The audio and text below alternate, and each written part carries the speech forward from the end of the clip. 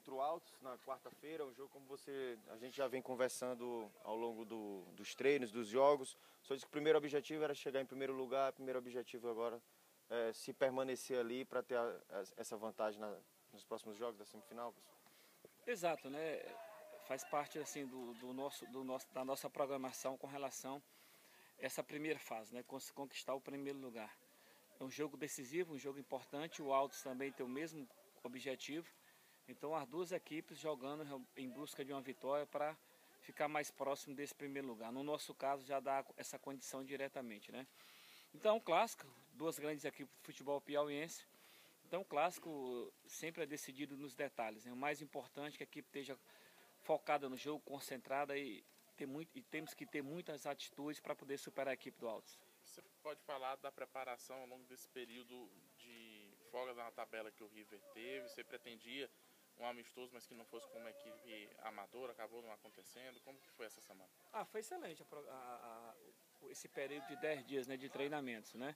Ainda temos dois dias ainda, hoje, na segunda e na terça, mas tudo que a gente programou, nós realizamos com a presença de tudo, com a presença quase que total de todo o grupo.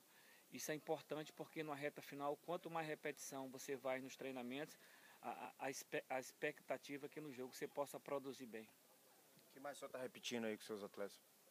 Bem, a gente repete tudo aquilo que é importante para a equipe, né? São vários fatores que são importantes para a equipe, não só a marcação, mas também com poste de bola, saída, construção, criação e finalização, marcação nos três setores, enfim. São os aspectos que fazem um, um time ser competitivo, né? E graças a Deus a equipe está tá trabalhando bem. Coletivas do Altos, quando a gente vai para as entrevistas do Altos, a palavra de ordem é desgaste físico. O time está cansado, os jogadores desgastados, o desfalques, inclusive por conta de lesões, sequência de lesões. O River está atento a isso para explorar também essa dificuldade do Altos nessa altura do campeonato? Olha, da, da mesma forma que, que nós estamos atentos a, a, a, tudo que envolve o Altos, que é nosso adversário direto, o Altos também está atento a tudo que envolve o River, né? Então faz parte do futebol é, a equipe tentar tomar conhecimento da equipe adversária, né, nos seus detalhes, né.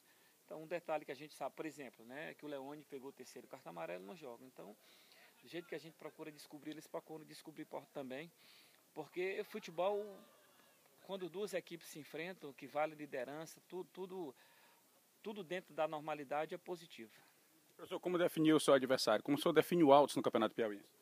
Olha, um grande adversário, né? um adversário que é, que é candidato ao título, briga diretamente pelo título de campeão, pelo bicampeonato, se não estou enganado. Tricampeonato, desculpe, né?